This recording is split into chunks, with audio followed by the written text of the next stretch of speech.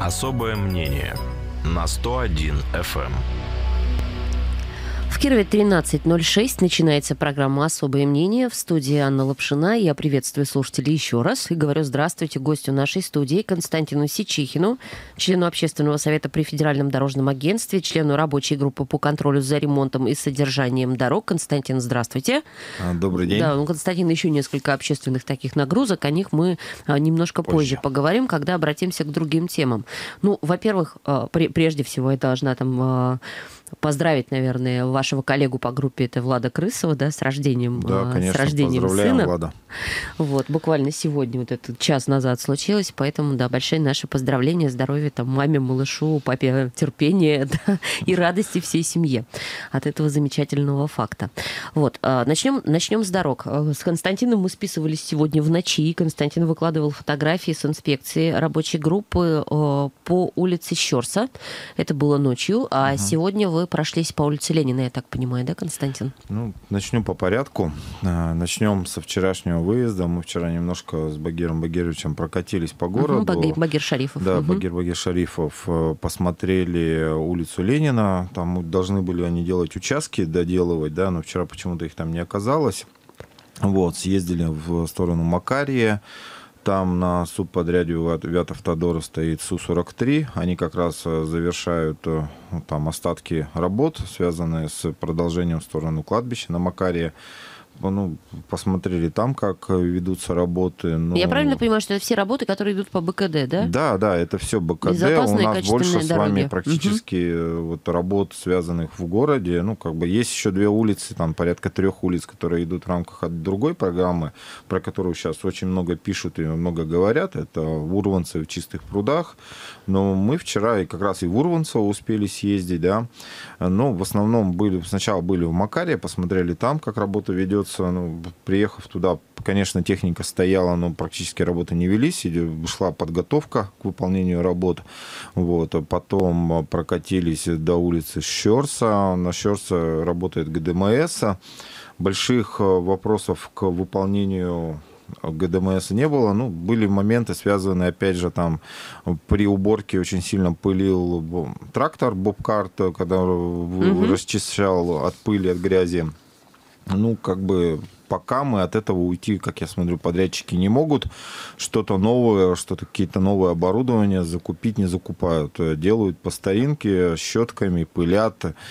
И эта пыль разносится по всему, по крайней мере, по всему тому по микрорайону, по, по окрестностям. Да, по окрестностям. Мы вчера вот эту картину наблюдали. Если говорить про качество выполнения работ, то как бы качество, оно хорошее с нашей точки зрения. Мы, конечно, не эксперты уж, да, мы как бы как общественники на сегодняшний день.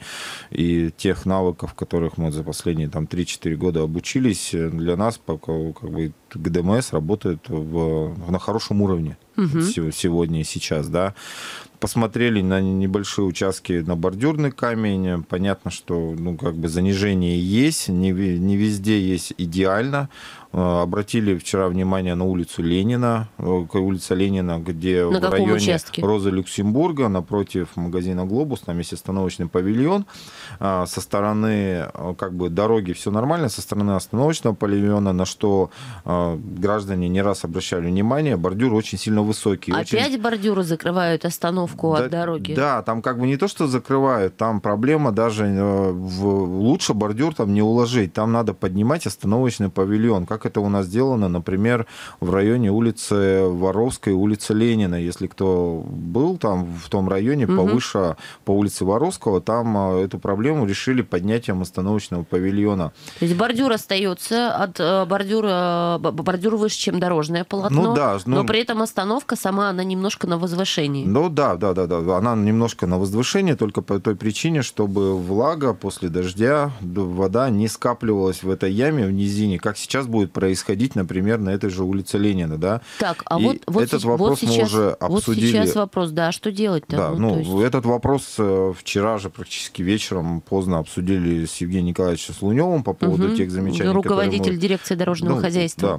вот. Э, и как, как по-другому сейчас она называется. Да, сейчас управление парковой культуры и, да, там, дорожной, инфраструктуры, да. инфраструктуры.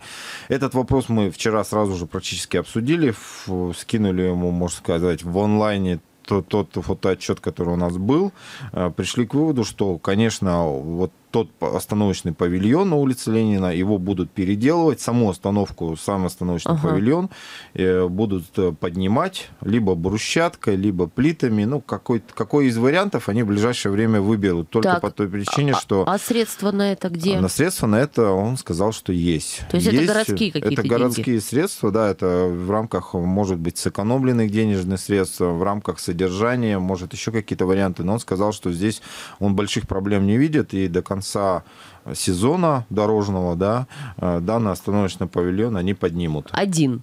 Ну, вот на что мы, я как бы, на что угу. мы пока обратили внимание, по этому вопросу был сразу дан четкий понимающий ответ, да. То есть это, это не единичный случай в городе, Это, конечно, не единичный случай, потому что мы наблюдаем такие случаи по Октябрьскому проспекту, в некоторых моментах, где люди жалуются, что бордюрный камень очень сильно высоко на остановочном павильоне. В данной ситуации самое выход из этой ситуации – это поднятие остановочного павильона.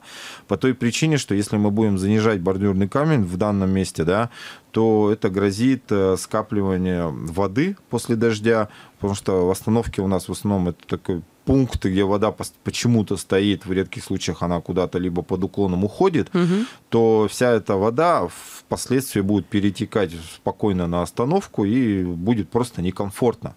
Поэтому самый оптимальный вариант – это поднятие остановочного павильона, на какой на уровень бордюра, чтобы было удобно, во-первых, подъезжать автобусу, во-вторых, удобно было гражданам садиться в общественный транспорт. А там а, в сравнении с тротуаром вот это вот поднятие остановки, это как будет выглядеть? То есть это платный, плавный какой-то Это будет плавный за, переход. За, У нас таких примеры есть. Я говорю, вот он, если кто обратит, да, это кто обратит э, на остановочный павильон на улице там повыше перекрестка улицы Ленина Воровского, а, там есть хороший пример, когда остановочный павильон плавно на брусчатке, там, при, не знаю, там подстил какой делали под низ, э, ну, плавно он поднят, да, и он на уровень бордюра, гражданам удобно на этот остановочный павильон заходить, там не надо никакие лесенки, ничего не надо там делать, там доступная среда, она очень э, грамотно сделана. Я все-таки, Константин, не поняла. Вот эта история с остановками, остановочными павильонами, их поднятием до уровня э, замененных на новые бордюров, это системная будет история или так и будет продолжаться? То есть Нет. рабочая группа куда-то едет, видит где-то косяки, э, вы пишете Луневу, Лунев дает распоряжение, мэрия ищет деньги, и мы вот так вот одну остановку за другой будем делать делать? Только по я, сигналам общественников? Я надеюсь, что это перейдет в системное решение, только по той причине, что у нас активно идет сейчас ремонт тротуаров. Угу. А если идет ремонт тротуаров, то значит должно идти ремонт э, остановочных павильонов. Да? И если брать, опять же, улицу Ленина, которую мы пытаемся сейчас, ну, город пытается привести в благоприятное состояние, то там ремонт тротуарный, тоже требуется. Это не только в районе э, центральной гостиницы. И старого универмага, да, старого да, вот универмага. Горка это практически, да, это практически начиная с начала улицы Ленина, да, и заканчивая там уже э, районом э, Солнечного берега, районом Гринхауса, тротуары везде. То есть практически на всем протяжении улицы Ленина до выезда из Кирова. Там, ну да, да до, потому до что нет, есть участки, вот которые сделаны, например, в районе ФСБ, там участок делали в том году, там есть еще пару участков, где-то час сам бизнес делал э, данные тротуары. Ну, мы понимаем, у магазинов, да. У магазинов, да. В данной ситуации я бы при посоветовал бы привлекать бизнес к этому решению проблемы, потому что эти тротуары проходят возле больших торговых центров, Сейчас возле больших напрягся. магазинов. Да, и как бы в данный момент э, не только городу надо вкладывать свои денежные средства, но и бизнесу пора тоже принимать какое-то энное участие в благоустройстве тех тех тротуаров, прилегающих, сказать, тех прилегающих территорий, территорий да. да, которые прилегают к магазинам. Но я не уверена, что выстроена сейчас вот эта система работы с бизнесом, и бизнес будет очень рад и счастлив, когда к нему мэрия обратится и скажет, ну-ка давай-ка тут Помоги. Делай-ка нам. Да, Помоги. Константин, перед Нет, эфиром вы сказали, что были на улице Ленина и были там Перейдем... сейчас после дождя, и какие-то проблемы там выявились. Дочь Перейдем показала. к другому этапу. Как говорится, дороги новые, а проблемы старые, да, в данный момент. Опять же, самый хороший эксперт по приемке улиц – это не человек, это, это погода, это дождь. Это дождь. Да. Вот на этом мы сейчас полминуты сделаем паузу и подробности после нее. Особое мнение – на 101 FM. Константин Сичихин в нашей студии, член общественного совета при Федеральном дорожном агентстве и рабочей группы по контролю за ремонтом и содержанием дорог. Это Кировская наша да, рабочая группа. Остановились с Константином на улице Ленина и дождя, который буквально только что прошел, и выявил проблемы. Да, я повторюсь, что дождь это лучший эксперт на сегодняшний день. Да, погода, она всегда покажет нам, как, как, как сделаны дороги, под как каким уклоном. Покрытие, да. И куда же все-таки в воде, воде деваться, да, и вот э, ровно, может быть, час назад в городе был дождик, может, полтора по улице Ленина я как раз находился и решил посмотреть все-таки, а куда же водичка будет утекать. Да? Это вы в каком районе улицы ну, Это были? я был, в, начиная, можно сказать, от улицы Роза Люксембург. Угу. Почему? Потому что у, в районе Роза Люксембурга было сообщение от гражданина, что там скапливается вода во время дождя. Я съездил туда, посмотрел, потому что рядышком, да, там дождя, ну, как бы, по крайней мере, я там лужи не заметил после вот этого дождя, но активно, ну, не то, что активно, а вот увидел лужу э, в районе центральной гостиницы, особенно напротив, можно сказать, центральной гостиницы. Э, вся вода успешно стекала на тротуарную дорожку. А, отлично. Да, и тем самым людям приходилось либо выходить на проезжую часть, либо какими-то там большими прыжками перепрыгивать ту лужу, которая образовалась. Это вот этот вот дождик показал полтора да, часа это назад. Маленький, это же небольшой дождь был. Это совсем. небольшой а что будет, был. когда ливень будет? Ну, там будет пруд. Сутками. Наверное. Ну, сутками, не сутками, но, по крайней мере, в водичке там некуда было деваться, и образовалась большая-большая ну, по крайней мере, на мой взгляд, это лужа. Это хорошая лужа, через которую просто так было не пройти. Так, а в чем причина? Это, это, это брак дорожного ну, покрытия? Ну, Как-то там причина, во-первых, уклона. Во-первых, это причина уклона. В воде некуда деваться в том месте. Во-вторых, это причина как раз же опять отсутствия хорошего тротуара, который очень низко находится угу. по, на основа, по основанию к дороге, и вода просто-напросто где ниже, туда и течет, да. Также была выявлена одна из проблем, это была лужа недалеко от остановочного павильона, чуть-чуть повыше, да.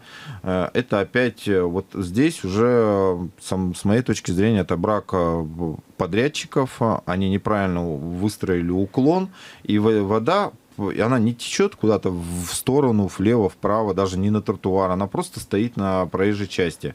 Так, а Тем... а что теперь, Константин, вы с этими будете косяками ну, делать? Во-первых, вы их зафиксировали? Конечно, они зафиксированы. Во-вторых, сейчас будет отправлено письмо в дирекцию, в управление угу. там, парковой культуры на Евгения Николаевича с просьбой все-таки оценить э, качество выполнения работ э, подрядной организации, это ГДМС.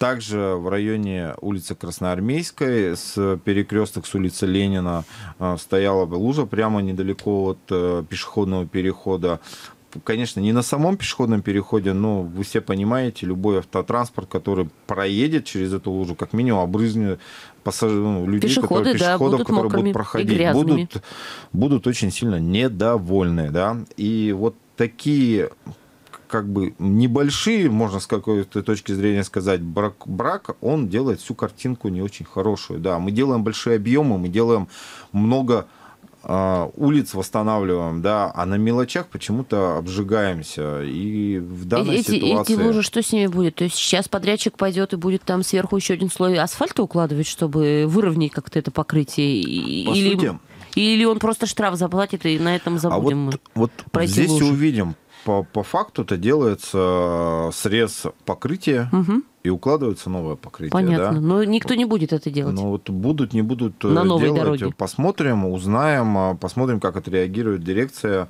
на те замечания, которые нами будут сказаны, так как это только начало проверки тех работ, которые сделали подрядные организации. Вот, еще пока не сдали, э, в данном случае можно раньше предупредить, раньше показать на те нюансы, которые есть.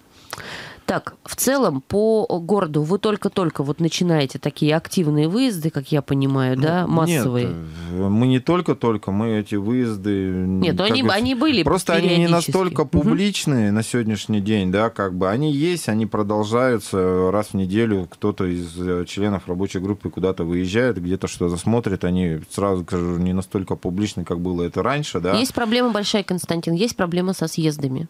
Есть участки дороги, которые сделаны уже некачественная, есть участки дороги, которые не сделаны и не знаю, будут делаться или, возможно, останутся. Это в том числе как бы центральных магистральных улиц касается, где достаточно большую скорость машины развивают, и не всегда в темноте они видят, что они съезжают вот под эту вот горку, и иногда этот срез, о, съезд очень резкий, и, и там реально там ну, ощущаешь вот на себе. В данном Эти ситуации мы не раз уже подрядчикам э, на это показывали, про это говорили, но есть технологическая карта, как можно это сказать, да, когда они сначала проходят основное покрытие, а, а потом уже начинают делать, как мы сейчас наблюдаем, колодцы по улице Ленина, там, угу. по другим объектам. Откапывают обратно. Да, обратно откапывают. Ну, такой принцип работы, такая технология, да, и мы от этой технологии сейчас пока наш город не уходит. Он сначала выкладывает новый асфальт, потом начинает копать и поднимать эти колодцы. Такая же система идет и со съездами, как вы правильно сказали. Сначала укладывают асфальт, нет, чтобы сразу же практически в эти же там в пару дней идти делать съезды, мы почему-то ждем неделями. Ждем неделями, и после этого начинаем а, делать съезды. Но это законно. Это законно, это не запрещено, потому что есть сроки выполнения контракта. Эти контракты, они прописаны, и главное, чтобы подрядчик уложился в те сроки, которые ему сказано. Как мне понимается, та картина, которая на сегодняшний есть, и если погода не помешает, то в большинстве случаев все подрядчики уже к середине августа сдадут все свои объекты. Ага. То есть мы еще да. в сентябре поездим по хорошим дорогам, пока ну, снег не да, выпадет. Да, вот в этом году мы, можно сказать, успеем еще увидеть до конца сезона и хорошую разметку, и хорошие дороги ближе к зимнему сезону. Вопрос сейчас только остается в двух улицах, не связанных с национальным проектом, а связанных именно с городской инфраструктурой. Это на Урванцево и в Чистых прудах. Это там, где работает компания из Петербурга? Да, там угу. компания, где работает из Петербурга. Пусть к нам и заверяют, что там работают не в три смены, но, по крайней мере, вчера на Урванцево мы уже были ночью практически в 12 часов. Я не наблюдал, что кто-то там сильно старался и кто-то там торопился, торопился выполнять какие-то работы да, улица. То есть они, они, могут, они могут проворонить сроки? Ну, предположение, предполагать сейчас не буду. Есть э, на сегодняшний Какой день контроль. Должны, должны выполнить работу? А? какой дате они должны выполнить Они, работу? у них по контракту там то что-то чуть не середина осени, но я как знаю, что им э, очень жесткие условия поставили по чистым прудам. И, как я понимаю, сейчас все силы кинуты на тот объект только а по той причине... пока ждет. Да, только по той причине, что путепровод, э, как заявлено и правительством области, и городом, путепровод у нас уже к сентябрю месяцу должен заработать. Должен быть запущен. Вот, и поэтому на сегодняшний день и питерский подрядчик, и многие подрядные организации э, активно ведут работу в том объекте. Вчера мы как раз ездили на улицу Комсомольская, угу. там опять спецбригада армян выполняет работы с участком улицы Комсомольской. Uh-huh, uh-huh. Вот. Ну, у нас возникло очень много вопросов а, по поводу качества выполнения работ по этой улице. Да? Эти вопросы мы уже задали, и проблема только в том, что здесь оценивает качество выполнения работ не дирекция, а УКС городской. А, и все будет за ней зависеть от их, как они примут эти работы. Константин Сичихин в нашей студии, член рабочей группы по контролю за ремонтом и содержанием дорог. Еще одна дорожная тема, которую я бы просила вас прокомментировать. Э, вот буквально тут на днях совершенно было объявлено голосование за а, те участки дорог, а, которые будут ремонтироваться в Кирове в следующем году и в 2021 году. Голосование формы его выложено на сайте Общественной палаты. Можно туда зайти. Собственно, открывается сайт Общественной палаты. Три таких табличечки. И там, значит, вот э, контакты рабочей группы и голосование за участки дорог. Правильно ли я поняла, Константин, что в некотором смысле общественники и городская администрация разошлись, э, в принципе, отбора вот этих вот участков, этих улиц? Ну, то есть декларируется, декларируется как э, с самого начала? Какие участки дорог там или улицы наберут наибольшее количество горожан, те улицы и будем ремонтировать по БКД. На самом деле все не так.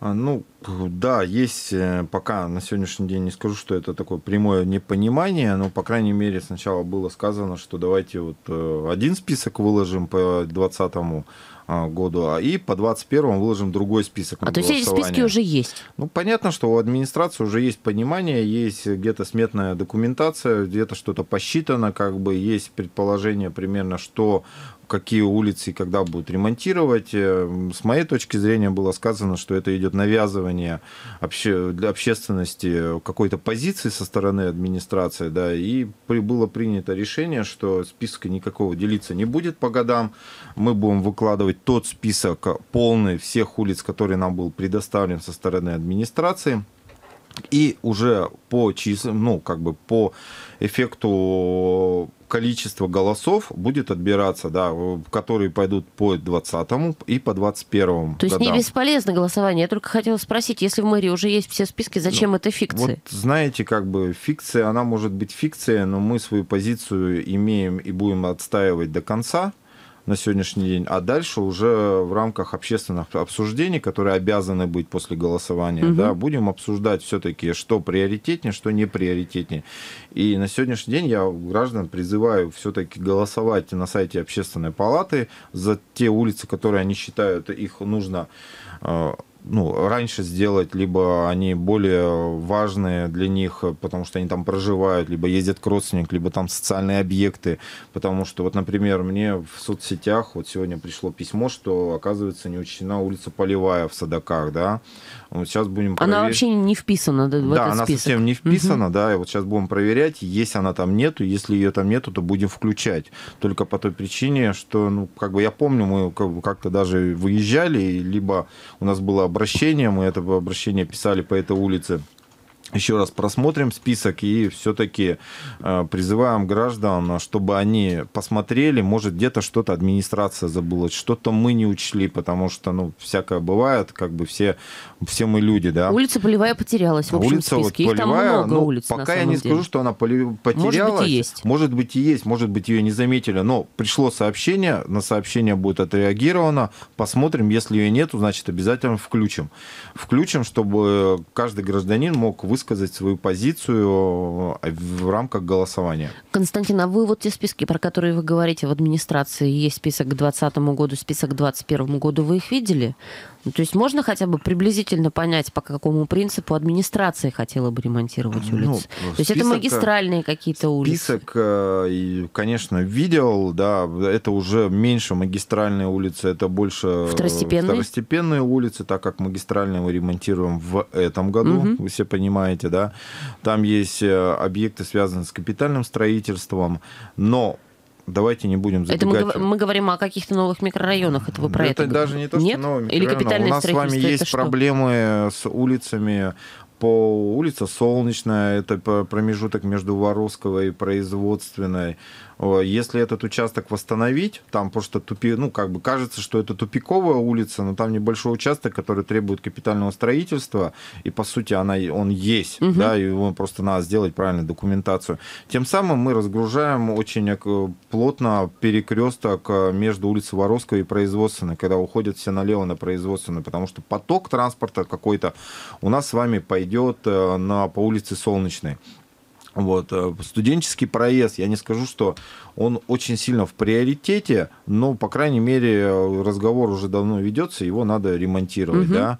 А, есть у нас продолжение улицы Сурикова, про которую да. тоже неоднократно говорят. Тоже и, к улице Щерс. Э, да, это к улице Щерс, который хотя бы при реконструкции разгрузит э, какой-то объем работ. Плюс есть участки, которые пора уширять, как бы и улицу Московская местами надо уширять, да, и пора задумываться о третьем путепроводе в сторону южного, юго-запада, потому что, ну, честно, мы с вами наблюдаем, что тот Воровского путепровод и Московская не справляются. не справляются с потоками, да.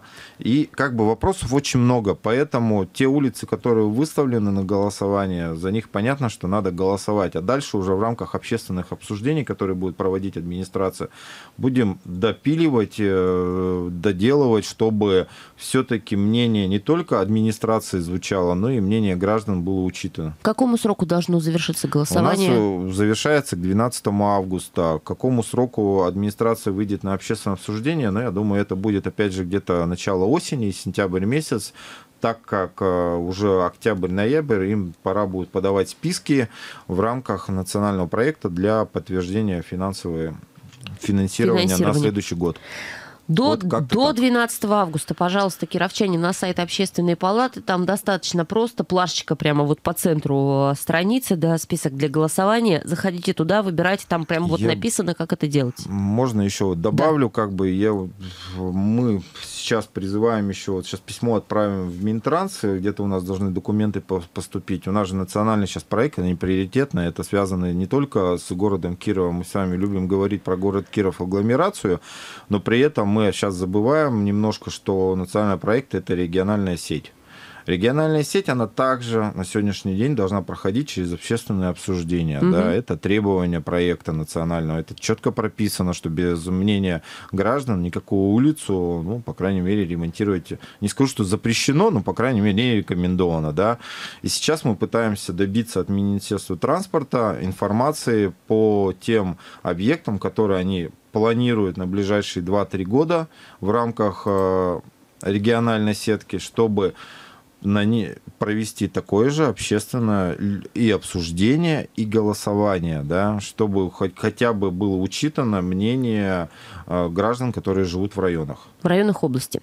Константин Сичихин в нашей студии. Мы сейчас сделаем перерыв на полторы минуты, вернемся. Но ну, вернемся, я думаю, что уже с другими темами. У нас еще впереди мусор, и у нас впереди да, перспективы да, смены поставщика услуг. Я имею в виду холодную воду. Особое мнение на 101 FM. Продолжаем с Константином Сичихиным а, его особое мнение сегодня вы слушаете. А, и переходим к следующим темам. От дорог мы переходим. Я напоминаю, что Константин, помимо дорожной своей активности, общественной, а, является представителем общественности еще в нескольких структурах. Ну, в частности, он руководитель общественного совета при региональной а, службе по тарифам РСТ. И вопрос тарифообразования нам сейчас важен почему? Мы напоминаем, что вот уже практически вот-вот сменится поставщик услуг Э, речь идет о холодном водоснабжении, водоотведении для кировчан. Сменится с компанией «Кировские коммунальные системы» на водоканал. Э, буквально э, вот тоже на днях э, глава администрации Кирова Илья Шульгин, очередной раз комментируя да, значит, эту тему в эфире у наших коллег на радиостанции «Звезда», сказал, что потребителям беспокоиться не о чем. Ничего страшного не произойдет, тарифы на воду не вырастут. Это, это вот всех волнует всегда, да, любые изменения, они обычно заканчиваются не очень хорошо. Мало того, может произойти снижение тарифа, а качество воды улучшится. Что вы думаете об этом, Константин, как руководитель общественного совета при региональной службе по тарифам? А, что мы думаем? Мы как раз свою позицию 23 июля будем высказывать по этому поводу, да, мы собираем общественный совет, угу. основным вопросом это стоит тариф водоканала и тариф ККС, которые до 28-го РСТ должны принять и уже официально объявить. А есть причины цифра... ставить там знак вопроса? То есть не, ну, не, не, не Причин все так радужно? больших э, я не вижу вот сейчас, на сегодняшний день. Но, по крайней мере, надо понять, из чего он будет составляться, этот тариф. Да? Угу. Какие... То есть вы анализировать будете? Да, конечно, посмотрим, проанализируем, а какие цифры туда закладывает водоканал, а, на чем как говорится, на чем они собираются и зарабатывать, и какие программы они туда включают, и есть ли эти программы, да, может быть, ну, по крайней мере, как все нас заверяют, что повышения тарифа не будет.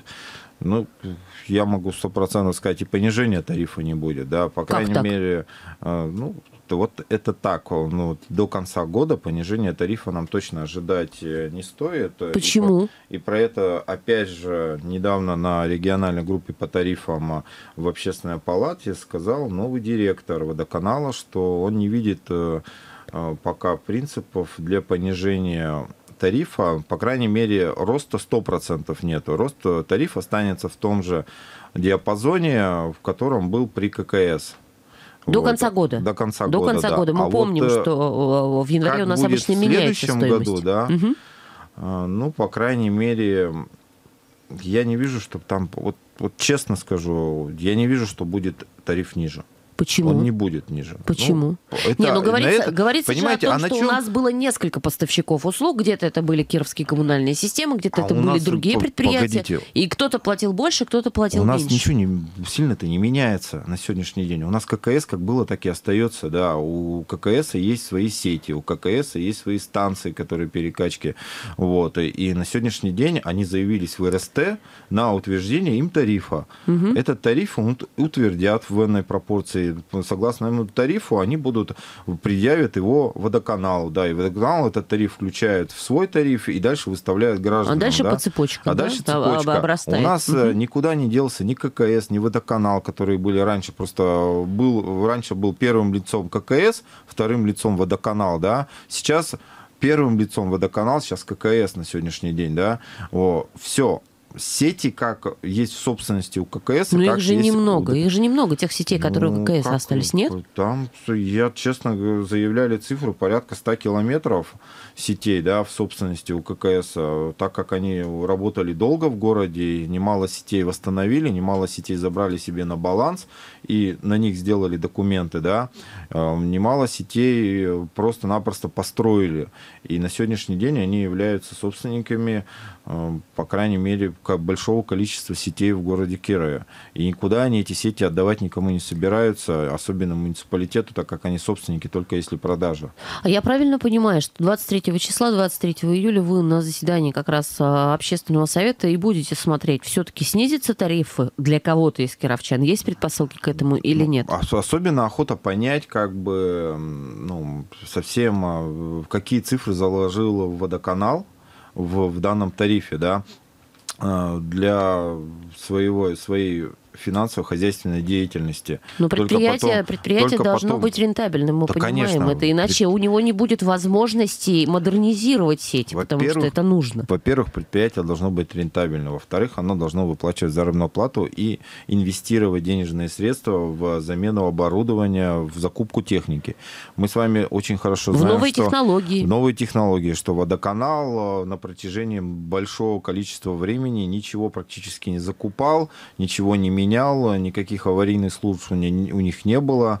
А, как нам пояснил, опять же, директор э, водоканала на сегодняшний момент э, Дмитрий Иго, Игор, Егорович, Егорович, да, угу. Дмитрий Егорович, что да, они планируют закупать какую-то часть оборудования, но планируют какая-то часть оборудования пришла, но в основном они сейчас пытаются восстановить все, что было старое все, что было старое, это точно не новое, да, и это точно Это вчерашний будет, день. Это вчерашний день, это все будет ломаться, и поэтому охота просто понять, посмотреть, насколько новые руководитель, насколько новое, старое новое предприятие возьмет все в свои руки, и мы не будем с большими проблемами в рамках водоснабжения и водоотведения в рамках города Кирова. Также есть основная э, больная точка, это люди, граждане, это квитанции, которые им будут начисляться а, уже с августа, получается, или нет, с сентября месяца, да, вот, чтобы не было, не произошло каких-то сбоев, которые у нас были в рамках регионального оператора, когда непонятно, как какие квитанции с какими цифрами приходили. Это мы сейчас про мусор говорим Это уже? нет, это мы а. с вами еще про воду, только про воду. по той причине, угу. что это они практически одинаковые. Когда приходит новый игрок, у него, во-первых, нет ни базы, у него, ладно... Они да, там, надо будет выяснить, да, э, насколько там, полную базу получил да, водоканал. у них, во-первых, не будет цифр по счетчикам. И, как мне известно, ККС не спешит передавать данные на сегодняшний Еще день. Еще не переданы они? Да, они не спешат. Может быть, часть данных там как-то каким-то образом через РИЦ или еще где-то передали, но ККС не спешит передавать данные. Вот. И как эта ситуация будет выстраиваться... И не столкнемся ли мы опять с тем, что у нас будут выставлены платежки с непонятными совершенно цифрами, да, и не знаю, чей уж колл-центр будет отвечать на вопросы возмущенных кировчан, но мы проходили через эти ситуации не однажды. Ну, надеюсь, надеюсь, что все будет хорошо, потому что ну, игрок меняется. Если администрация видит в этом улучшение данной ситуации, да. Но администрация крайней... тоже не заинтересована в том, чтобы был да, чтобы были коллапс, проблемы в городе, да, да, на сегодняшний момент. И э, эта ситуация будет подконтрольна, потому что знаю, что там в рамках водоканала сейчас прорабатываются новые инвестиционные моменты, связанные, опять же, с содержанием уличной дорожной сети, пока я вперед заходить не буду, закину, как говорят, удочку с приманкой, да, а дальше я думаю, что мы с вами в студии где-то уже осенью будем обсуждать эти все моменты. Сохраняет Константин Сичихин интригу. Остается у нас три минуты до завершения программы. Я бы, Константин, хотела, наверное, вам вас же и про, процитировать. Собственно говоря, вы э, на недавнем э, заседании региональной группы общественного контроля по тарифам ЖКХ, вы про нее говорили уже в общественной палате, э, сказали о том, что необходимо расторгнуть договор с региональным оператором по обращению с ТКО. По вашим словам, причиной а, должны стать или могут стать представления прокуратуры в адрес Куприта, представления этих больше 130. Куприт прокомментировал, кстати говоря, ваши слова, да, и сообщил о том, что по большей части этих сообщений по запросам а, информации не подтвердилась. По 33 обращениям потребителям пересчитали плату за вывоз а, твердых коммунальных отходов. Основаниями для перерасчета были ненормативное состояние, расстояние до контейнерных площадок, либо вообще отсутствие контейнерных площадок. Собственно, Куприт говорит, мы устранили вот все, что вы нам вменяли, мы, мы остаемся и будем работать. Почему у вас э, история это возникла с тем, Я... что надо я не верю словам Куприта, так? только по той причине они заинтересованы в показать, э, показав хороших показателях, да. В этом все, э, Константин, всегда заинтересованы. Вот. И поэтому для меня, например, основная правда, это есть у нас областная прокуратура, городская прокуратура, есть Министерство ЖКХ на сегодняшний день, которые не являются аффилированными лицами к региональному оператору, да, и по той причине, что если данные лица, данные структуры говорят о том, что Куприт работает работает очень плохо, есть на это замечание, есть на это представление, и их не десятки, а сотни этих представлений, для меня одно, один ответ. А как вы все-таки работаете, почему вы до сих пор еще работаете на этом рынке? Потому да? что реформа мусорная сырая.